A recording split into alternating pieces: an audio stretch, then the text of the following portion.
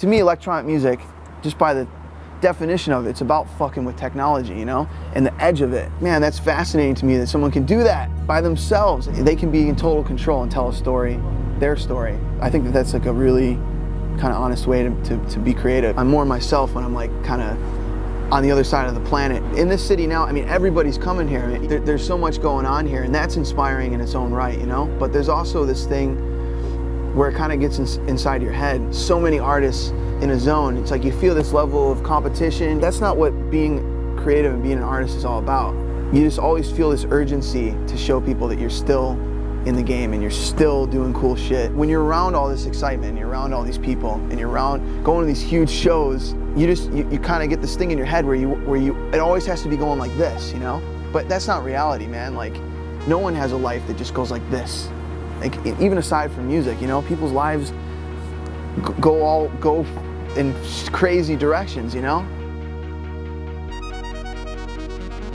Moving to LA has, has affected my sound in that sense. It's in the beginning it was great because I felt like this like energy, you know, and now it's just like, man, you got to have that time where you just like disconnect from this from the scene, from like the party world, from just the the, the race like, and, and it's a race that I've created in my head, you know? But you have to step away from it.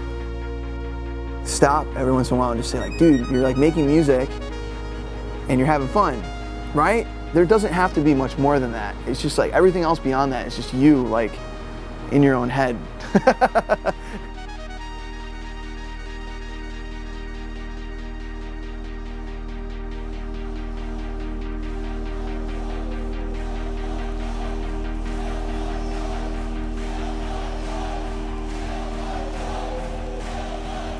What do you got any words of wisdom?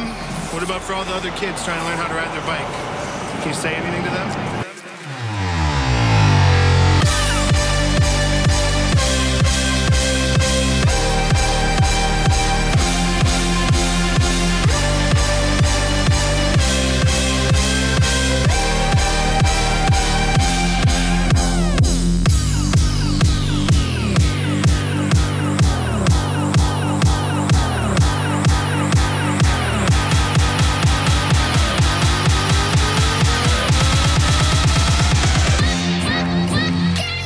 Working for the last couple months on my new record.